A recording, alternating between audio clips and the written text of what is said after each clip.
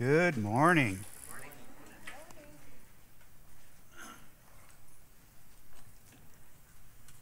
Is God good? Yes, He is all the time.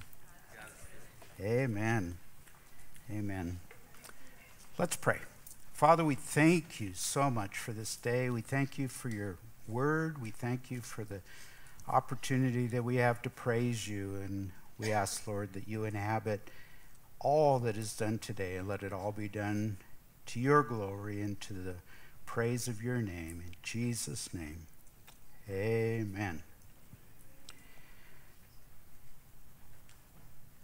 Well, here we are again. We're still in the book of Genesis. For those who are new today, welcome. We hope that you uh, fill out fill out the visitors card or the connect card, and, and we'd, we'd love to hear and get to know you better. We are studying in the book of Genesis, and we're continuing in our view of the life of Abraham. Abraham is a key, maybe the most important man in the Old Testament, as everything God is going to do is going to be done through him and through his descendants. We're in Genesis 15 this week. A number of weeks ago, we were we in uh, Genesis 12. We looked at a few of the mistakes or the bad choices that Abraham made, or and um, yet in that next chapter, we see that he returned to the place where God had met him. He returned to that place where God had proven faithful, and it was there that last week Pastor Shea talked about the separation that was necessary. Abram had to separate from his nephew Lot, and in that, God put him in the place where he wanted him to be, in the land that he was going to bring and give to his descendants. In chapter 14, Pastor Shea also talked about and, and looked at this idea or this, this experience where these, this coalition of kings, there were five kings in uh, what we know of as uh, the Middle East, uh, king in the area of Babylon, another one in the area of Persia or um, modern day Iran. And this coalition of, of kings had been dominating the kings in the Levant or, or in, in what we call the Holy Land. And the kings in the Holy Land decided that they were going to stop paying tribute to uh, this coalition of kings, and they came up against them. They kind of, kind of, they just, they just pretty much destroyed them, and took everyone captive. And when Abraham heard about this, he raised up an army from within his own household. He went after this coalition of kings and destroyed them and was able to bring back his nephew Lot and all that was associated with uh, the city that he came from, the city of Sodom. And as I was looking at this, I was thinking about this in Genesis 14. I'm, I'm really struck by what I think is an amazing thing.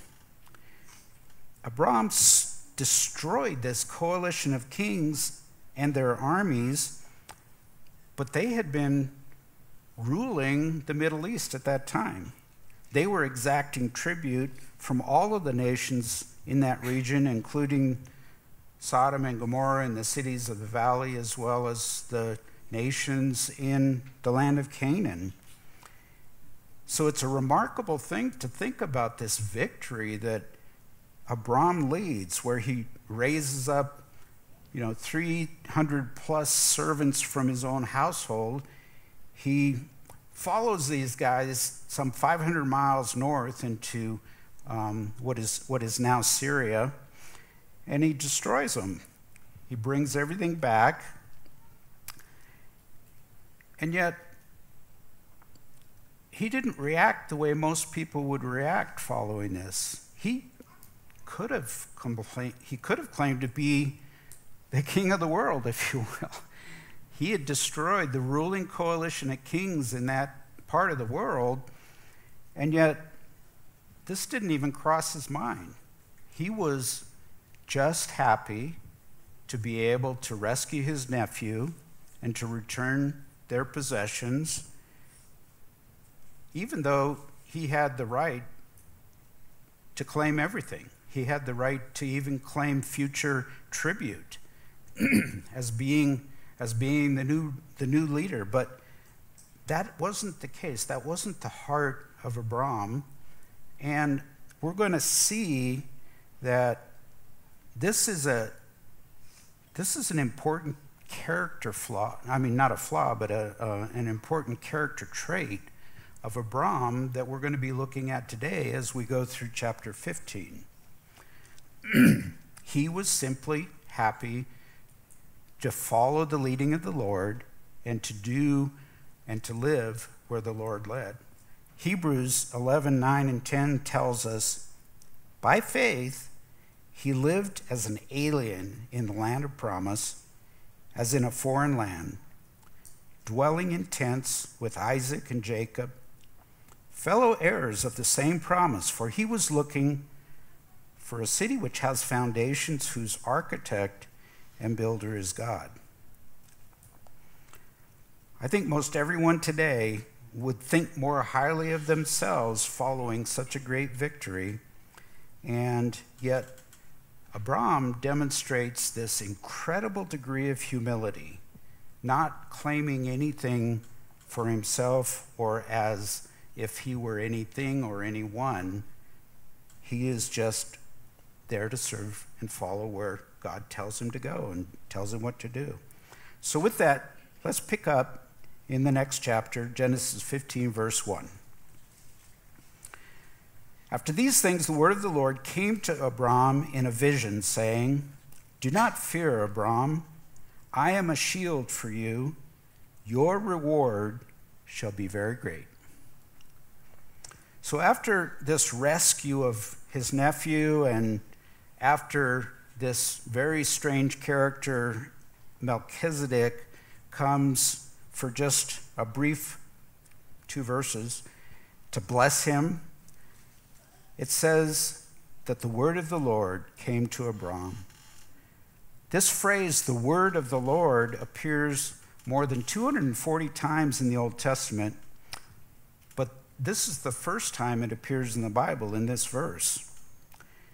Throughout the Old Testament, this phrase is used to indicate divine revelation from God to men. And we should remember that Jesus himself one of his titles is the Word, which is highlighted in the book of John. The first three verses in the book of John say, In the beginning was the Word, and the Word was with God, and the Word was God. He was in the beginning with God. All things came into being through him, and apart from him, nothing came into being that has come into being.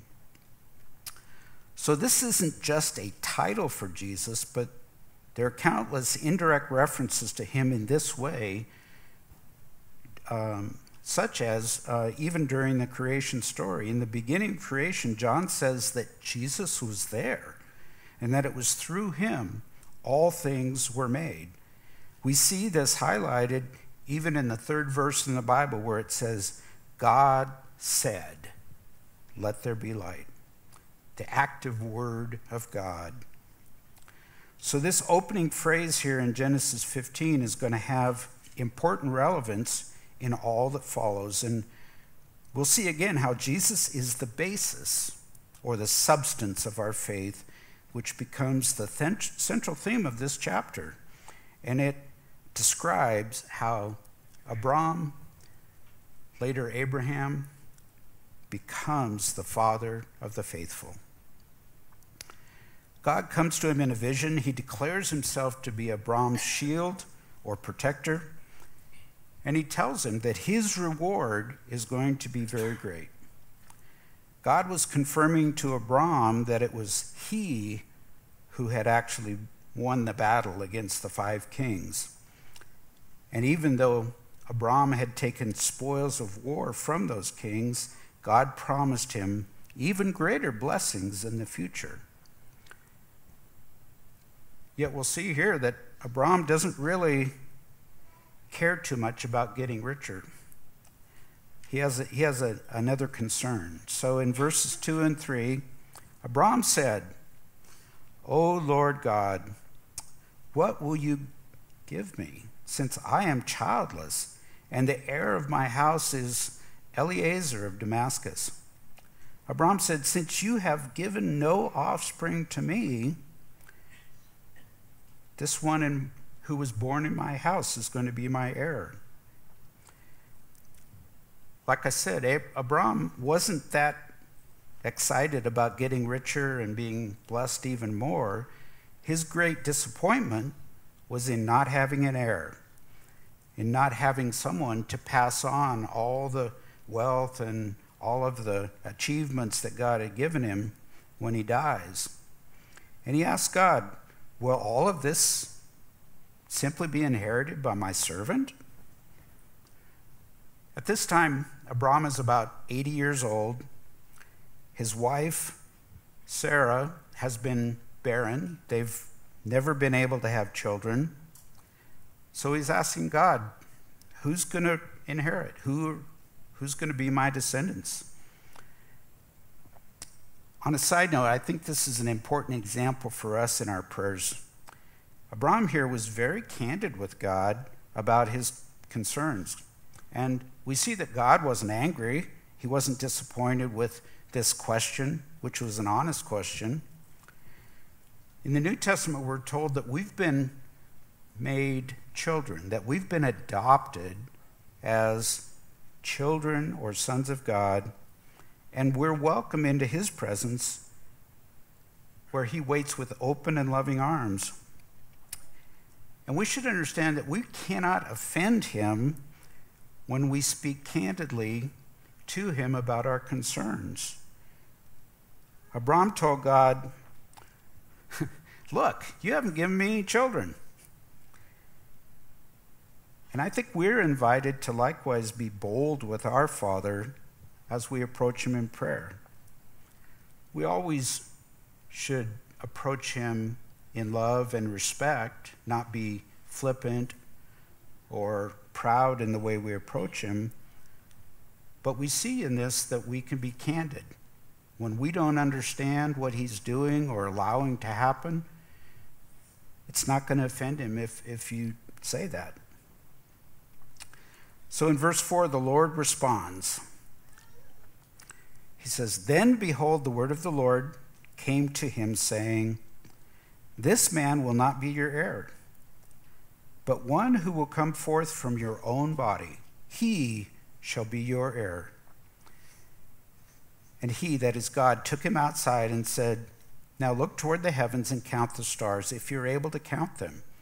And he said to him, So shall your descendants be. Then it says, He, that is Abram, believed in the Lord, and he reckoned it to him as righteousness. So God had previously told Abram that his descendants would be impossible to count, just like the grains of sand on the earth. And now in this passage, God shows him the starry night and says, Your descendants are going to be likewise uncountable, just like the stars in the heavens he says all of his descendants are going to come from his own body, making it clear that his heirs are not going to be someone from his own household like this servant Eliezer. In verse 6, it says that Abram believed God and what he had just told him. The Hebrew word here for believed is aman, and this is a primitive root verb, and it's also from that root that we get the very familiar word amen, which we understand to mean so be it or let it be so. The verb aman has a broader sense, though. It's much broader than just saying that he believed or, or to, be, be um, to believe. It also means to be established, to be confirmed, or to be built up with a sense of paternal responsibility, like a parent who guides and builds up and confirms the establishment and the growth of their children. So when this word is used here in Genesis 15:6, all of that is incorporated into what was going on in Abram's heart at that time.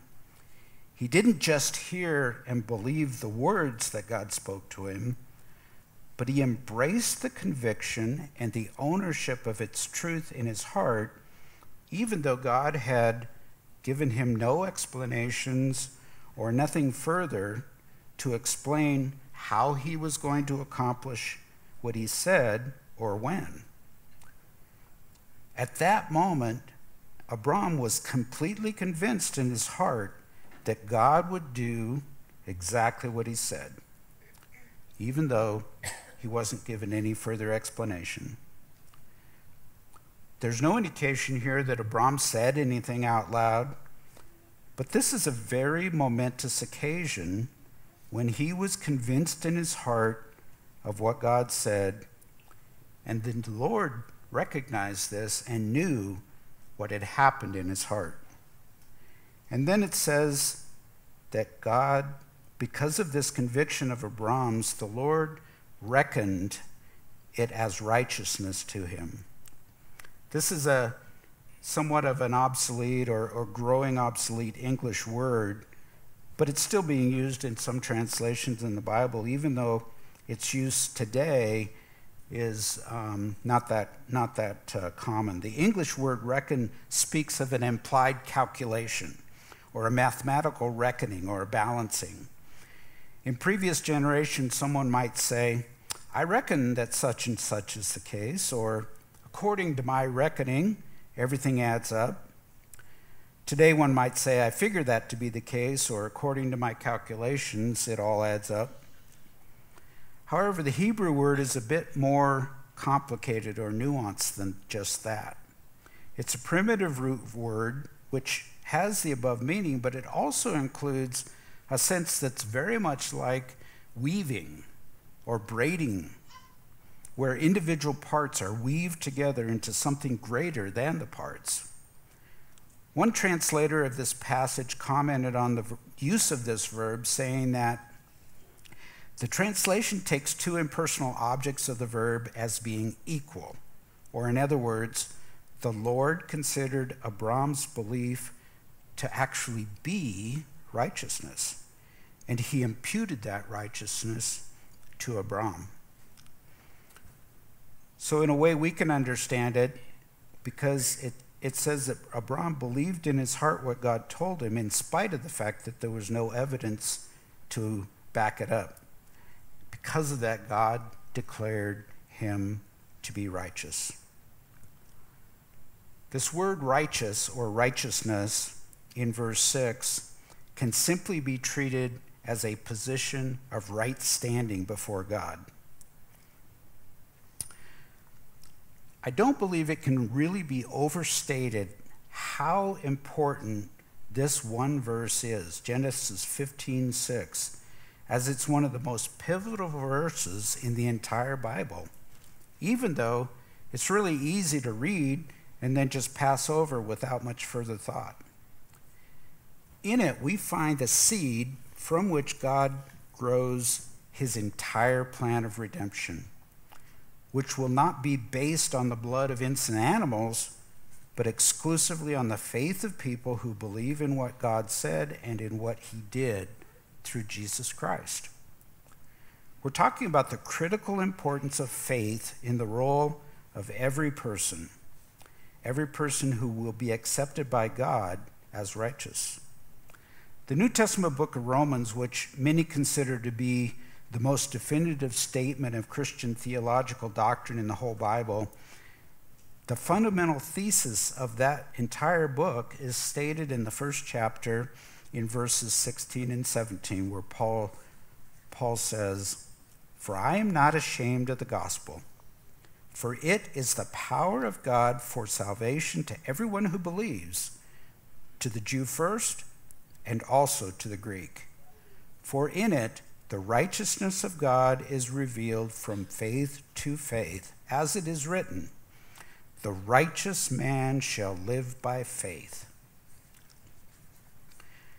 We can really look at the rest of the book of Romans as an extended commentary and application on this one statement, where Paul quotes from the words of God to the prophet Habakkuk in Habakkuk 2:4. Romans 4, in Romans 4, Paul quotes from this passage here in Genesis 15, making a very big deal of Abraham's faith and how it was the basis for the righteousness that God attributed to him. In Romans 4, first three verses, it says, What then shall we say that Abraham, our forefather, according to the flesh, has found? For if Abraham was justified by works, he, would, he had something to boast about, but not before God. For what does the scripture say? Abraham believed God, and it was credited to him as righteousness. Paul was an expert in the Old Testament even before he became a Christian.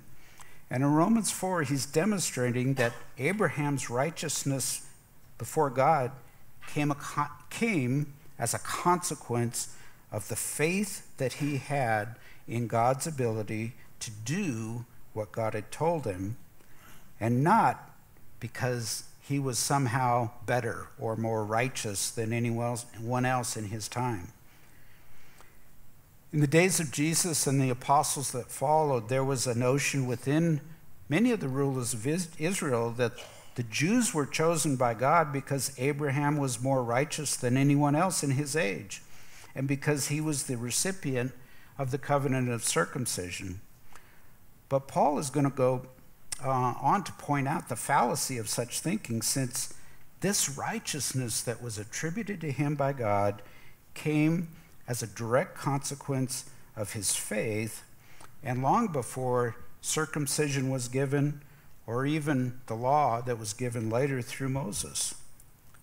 Paul concludes in Romans 4 with this verses 22 to 24. He says, Therefore, it was also credited to him as righteousness. Now, not for his sake only was it written that it was credited to him, but it was for our sake also to whom it will be credited as those who believe in him who raised Jesus our Lord from the dead. So, Paul emphasizes the critical importance that faith plays in the role of our salvation today. And the other New Testament writers do this too. Genesis 15:6 is quoted 3 times or I should say in in 3 different New Testament books in Romans, Galatians, and the book of James. So it should be important for us to grasp the significance of what's happening here in Genesis 15 and how Abraham became the spiritual father of all who would later come to God by faith. We also need to understand where our faith comes from and what it means to actually have faith that pleases God. Paul said the following later in Romans. In Romans 10 17, he said, So faith comes from hearing, and hearing by the word of Christ. And then in the second half of Romans 12 3, he says, As God has allowed, allotted to each a measure of faith. Many people misunderstand what it means to have faith. But Paul makes it clear that faith comes from hearing and believing God, and that ability to believe also comes from him. Abraham became the, fa- the father of the faithful because he heard the word of God and he was completely convinced in his heart that God was able to do what he had said, even without evidence or explanation provided. There are many people today who have this notion that it means what, of what it means to have faith, where some have been incorrectly taught things that actually distort what the Bible says. There are many who think that faith is something that we can generate within us and that we can make anything happen if our faith is just built up strong enough. That teaching has caused a lot of harm, and actually, there have been many who have fallen away from the faith when the things that they prayed for didn't happen. From a proper perspective on faith, or for a proper perspective on faith that pleases God, I want to point out the story that's told in Luke 7, where there's this Roman centurion in the city of Capernaum who asked Jesus to heal his servant who was sick and dying. And when Jesus started heading towards the man's house, and the, and the centurion found out about it, he sent word back by some of his friends telling Jesus that he didn't even need to physically come. And it's where, and that's where we'll pick up the story in Luke 7, verses 6 to 9. Now Jesus started on his way with them, and when he was not far from the house, the centurion sent friends, saying to him, Lord, do not trouble yourself further, for I am not worthy for you to come under my roof. For this reason, I did not even consider myself worthy to come to you, but just say the word, and my servant will be healed. For I also am a man placed under authority, with soldiers under me. I say to this one, Go, and he goes. To another, Come, and he comes. To my slave, Do this, and he does it. When Jesus heard this, he marveled at him and turned and said to the crowd that was following him, I say to you, not even in Israel have I found such great faith. This is extraordinary. This Gentile understood that it was Jesus who had the divine authority to heal, and that it was only necessary for him to speak the word, and that would be enough for his servant to be healed. Remember, faith comes by hearing, and hearing by the word of Christ. And that's exactly the situation here in this story. However, think about this centurion for a second. We know from the story that he was a very rich and powerful man who also exercised the full authority of Rome in Israel. He was a man of great power who commanded the respect and obedience of many. Yet look how he communicated with Jesus. He didn't command or demand anything, as might be expected of one who was rich and powerful. He only sent a simple request asking that Jesus heal his servant. And then, when he heard that Jesus was coming to his house, he sent some friends telling Jesus that he wasn't even worthy to have him come into his home. The centurion did nothing to build up his faith, but he understood where the power to heal existed, and he stated very simply it was only necessary for Jesus to speak the word, and he knew that his servant would be healed. Jesus was the object of the centurion's faith, where he had the conviction that Jesus could heal by just saying the word, and he didn't have any preconceived expectations of what Jesus would do. He just understood that Jesus had the authority, and he was asking Jesus to speak that word. In the story in Daniel 3, the three Hebrew slaves were about to be thrown into the fiery furnace, and they simply said that they knew that God was able to save them, but whether he did or not, they were not willing to bow to the king's statue. They simply trusted God no matter what happened. In this story here in Luke, we're told that Jesus marveled.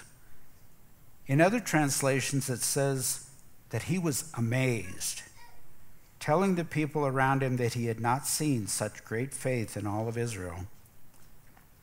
It's an incredible thing to think that Jesus, who is God, was blown away by the simple faith of this centurion, which should cause us to examine it very closely for our own benefit. The writer of Hebrews tells us a definition of faith and tells us how vitally important it is in pleasing God. In Hebrews 11, first three verses, he's, he writes, Now faith is the assurance of things hoped for, the conviction of things not seen. For it, but for by it the men of old gained approval. By faith we understand that the worlds were prepared by the word of God so that what is seen was not made out of things which are visible. And then down in verse 6 it says, And without faith it is impossible to please him. For he who comes to God must believe that he is, and that he is the rewarder of those who seek him. So, in all the things that we've been looking at here, whether it is Abraham here in Genesis 15, the centurion in Luke 7, Shadrach, Meshach, and Abednego in Daniel 3, as well as what we just read here in Hebrews 11, it's all demonstrating faith in action. This is exclusively based on believing God's ability to do what he says he will do.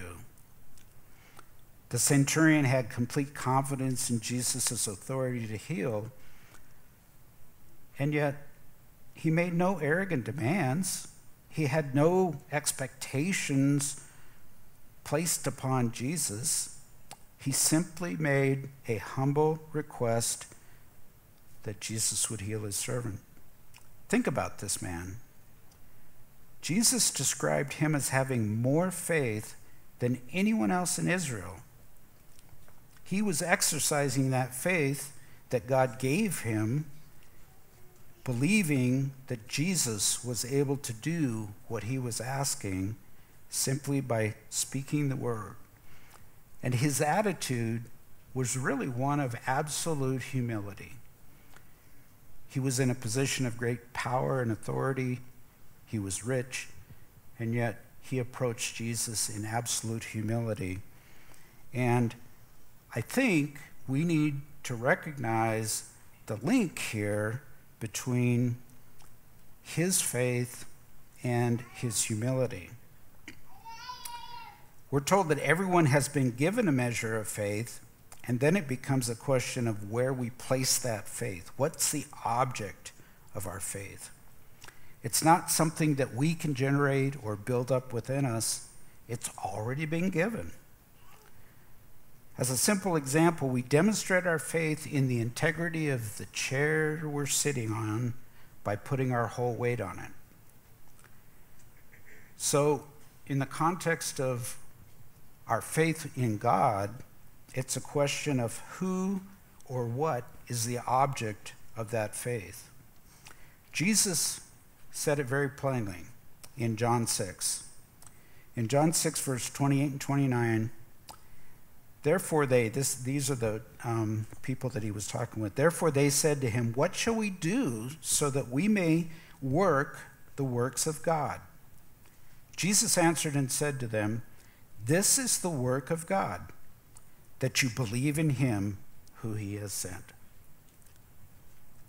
That's pretty simple, isn't it?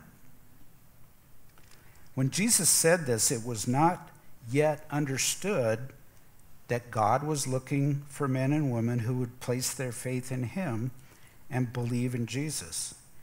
God's statement about this had been written more than 600 years earlier in Habakkuk, but the people didn't understand what God had said through the prophet. Just like this passage in Genesis 15:6 was not understood.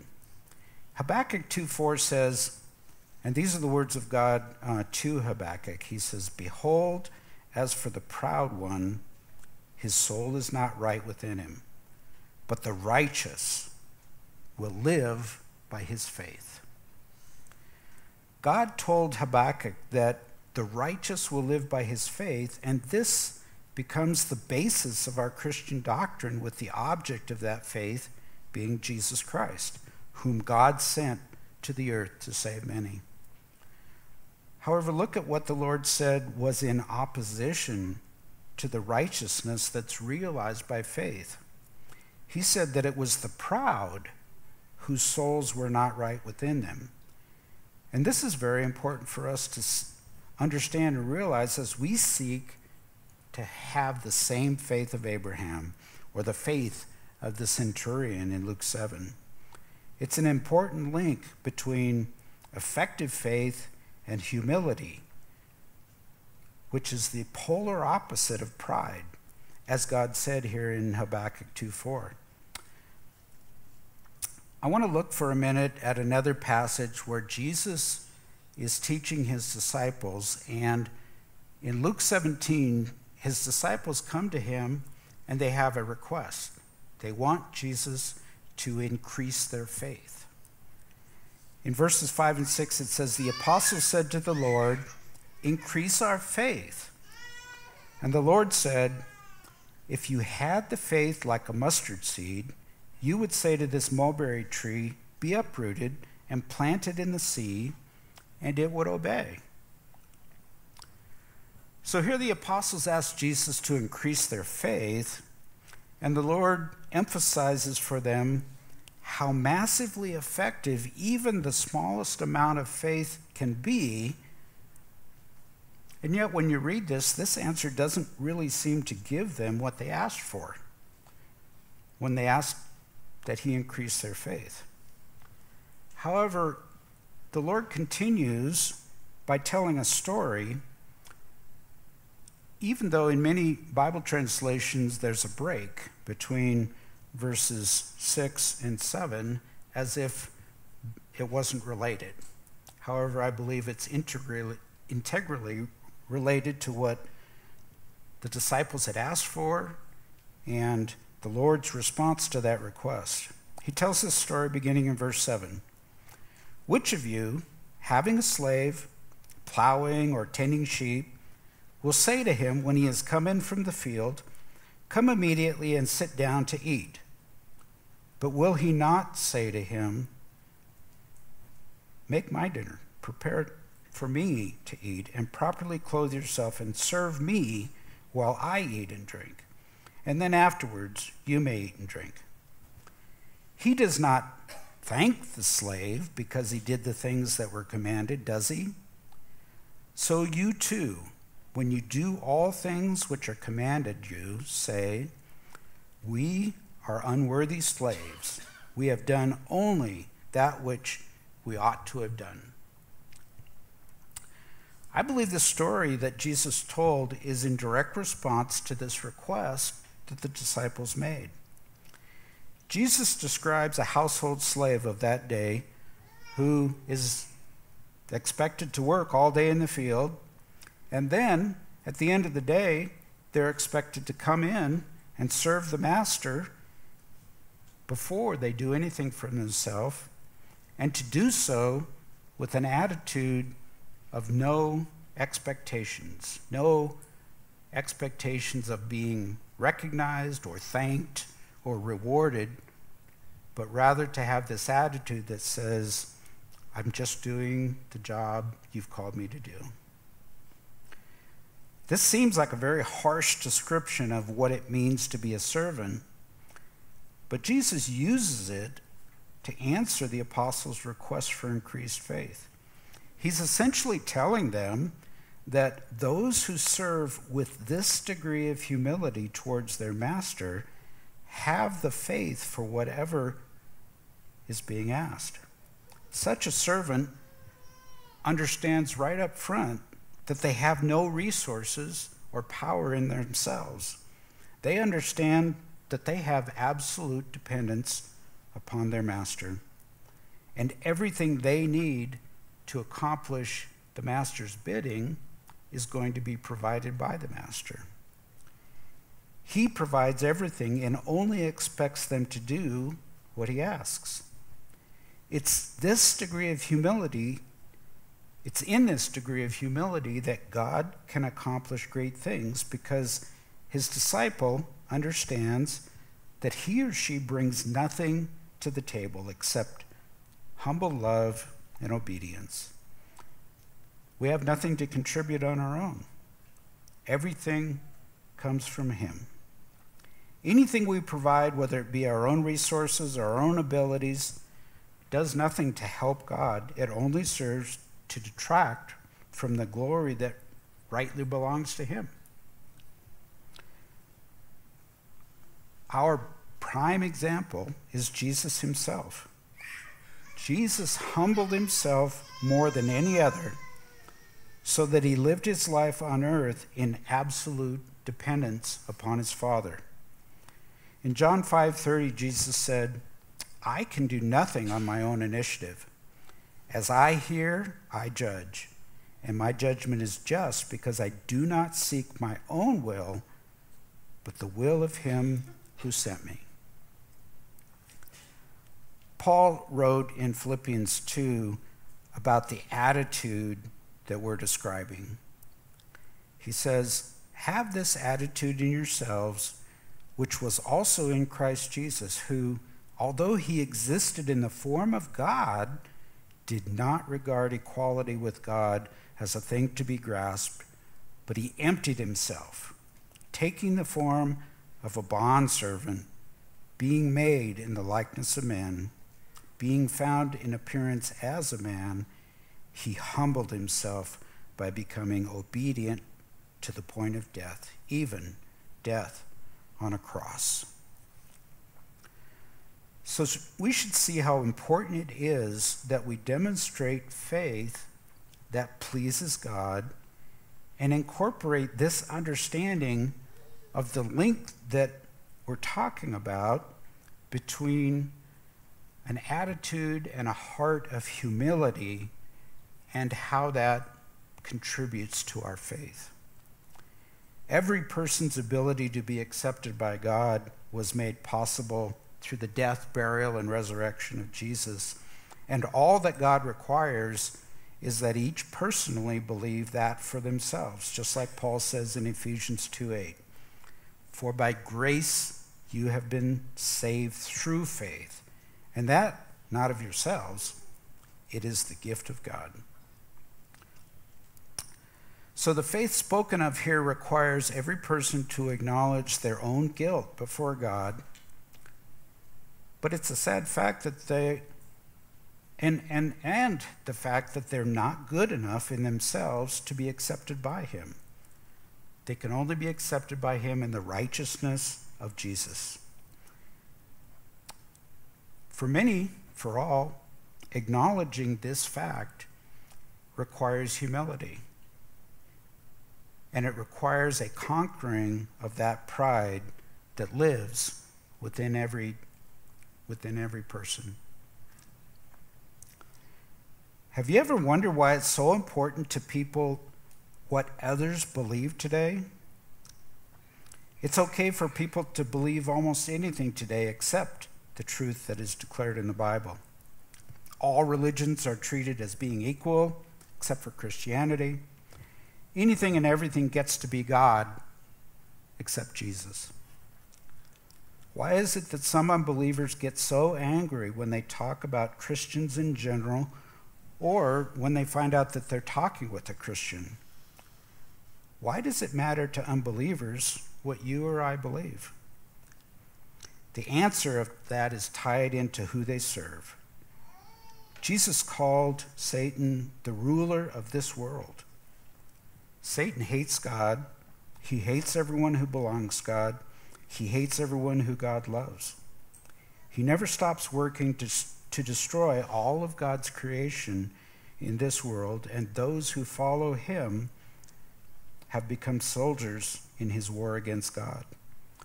The world hates everyone who believes in God because Satan hates God. So it shouldn't be a surprise to us when unbelievers hate us. Jesus said in John 15, uh, 18 and 19, If the world hates you, you know that it has hated me before it hated you. If you were of the world, the world would love its own. But because you're not of the world, but I chose you out of the world, because of this, the world hates you. So, in all of this, we should recognize how critically important it is before God in what we believe. This was first demonstrated with Abram here in Genesis 15, and it was later embodied in the person and the work of Jesus Christ, who became the object of faith for all who are going to be accepted by God. The faith of Abram was truly amazing in that he had nothing but the promise of God, and yet he believed him before any of those promises became flesh and blood. Abram demonstrated his humility in the prior chapter, in chapter 14. And I really think that it's comparable to the humility that we saw in the centurion in Luke 7 and the unworthy servant that Jesus described in Luke 17. He was able to fully trust that God was able to do what he promised. This was the faith that God saw in Abram here in Genesis 15:6 and he was rewarded by being declared right, having right standing with God. Abram becomes our example of faith that pleases God, and we need to recognize the dependent humility that makes such faith possible in each of us. So, continuing in Genesis, 7, uh, Genesis 15, uh, beginning in verse 7. And he said to him, I am the Lord who brought you out of Ur of the Chaldeans to give you this land to possess it. And he said, O Lord God, how may I know that I will possess it? So he said to him, Bring me a three year old heifer, and a three year old female goat, and a three year old ram and a turtle dove and a young pigeon. He brought all of these things to him and then cut them in two and laid each half opposite the other, but he did not cut the birds. The birds of prey came down upon the carcasses, and Abram drove them away. When the sun was going down, a deep sleep fell upon Abram, and behold, terror and great darkness fell upon him.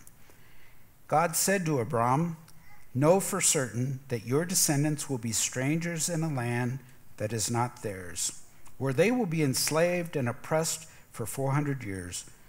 But I will also judge the nation whom they will serve, and afterward they will come out with many possessions. As for you, you shall go to your fathers in peace. You will be buried at a good old age. And then in the fourth generation they will come back here for the iniquity of the Amorite is not yet complete. It came about when the sun had set, and it was very dark, and behold, there appeared a smoking oven and a flaming torch, which passed between these pieces, or the, or the um, carcasses of the animals. On that day, the Lord made a covenant with Abram, saying, To your descendants I have given this land, from the river of Egypt as far as the great river Euphrates the Kenite, the Kenizzite, the Cadmonite, the Hittite, the Perizzite, the Rephaim, the Amorite, the Canaanite, the Girgashite, and the Jebusite. So here God speaks to Abraham, saying that his descendants will be uncountable, just like the stars of the sky. And Abraham responds by asking, Abraham believed him, we're already told that, but then he asks for a sign. He asks, How is this going to happen? Abram was not doubting what God had promised regarding his posterity, but he was asking God about, about the possession of the land. And God answers with instructions to bring and kill five animals and to split the carcasses of the livestock, but to leave the two birds whole.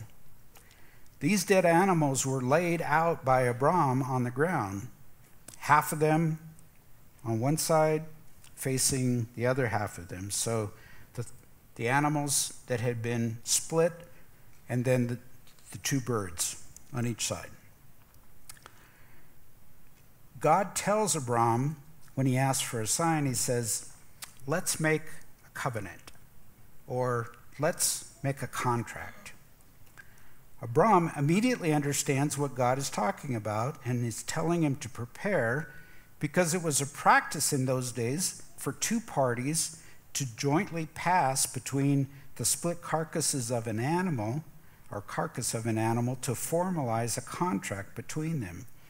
Jeremiah, the prophet, makes reference to this practice in the following passage from Jeremiah 34. He says, I will give the men who have transgressed my covenant, who have not fulfilled the words of the covenant which they made before me, when they cut the calf in two and passed between its parts.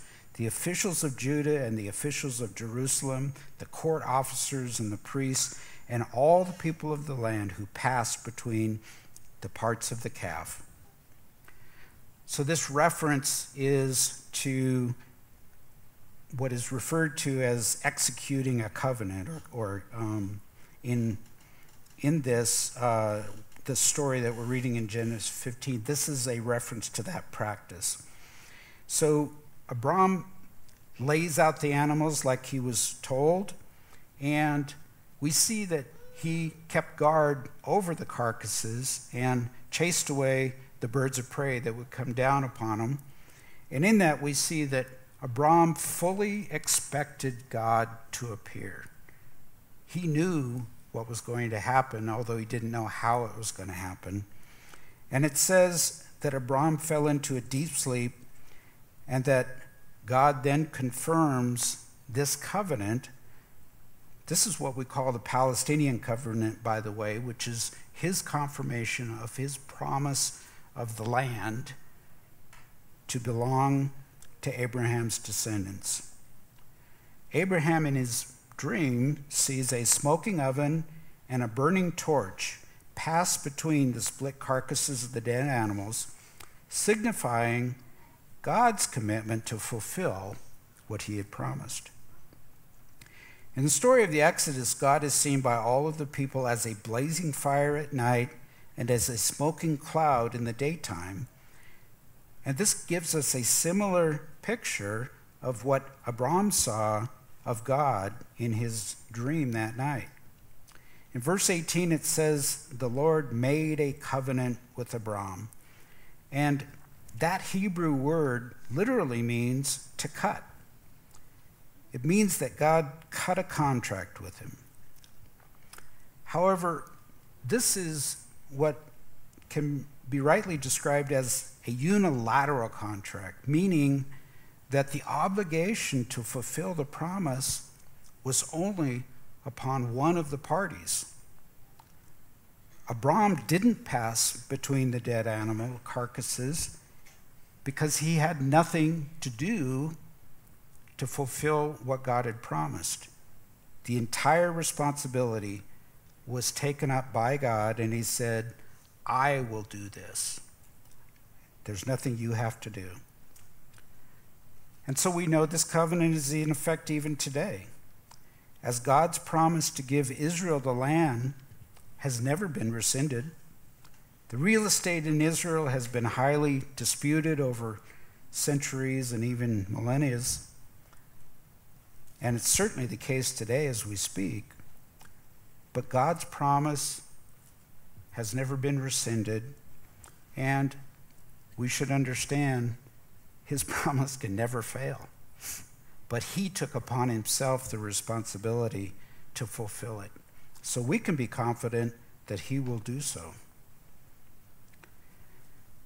Genesis 15 is a pivotal point in God's plan for all of mankind, as it was always his intent to require faith in him as the basis for righteousness among people in the world. Before creation, he was planning to send his only son, Jesus, as a man to the earth so that he might accomplish the undoing of original sin. But God will still only accept those who believe in the sacrifice of Christ as being sufficient to save them. So, in this, Abraham became the spiritual father of all who would later believe, even though they may not be his blood descendants. Also, God has given each person enough faith to actually believe that. So it really just comes down to a question of personal choice and the humility to believe in what he said and did or not? Where are you on that question? If you've already accepted Jesus by faith, then what about the rest of your life? Can you let him be in charge of your future and follow him wherever he wants to take you? Like we saw with Abram and his willingness to just be where God told him? Or, if you've not accepted Christ, is today the day when you will give up and ask Him to come into your heart and to save you? If we have any here who's been struggling with either of these questions, let's pray. For those who are having a hard time trusting God with your life and the future, you can pray something like this Dear Father, I know that you're trustworthy, but I do not always trust you. But I choose to trust myself instead. Please forgive me for those times and help me to walk before you in absolute humility and faith, trusting what you're going to do in the rest of my life. Amen. For any who have never accepted Christ, you can pray something like this Dear God, I am a sinner, and I'm sorry for all that I've done against you. Please forgive me and come into my heart and live forever. Please lead me in the way that I should go and help me to live for you from now on. Amen. If you prayed either of these prayers, please let us know or one of our servants here. We'd like to join you in prayer and um, get to know you better. Please stand while we close in worship. The altar is open for anyone who wants to come down and pray.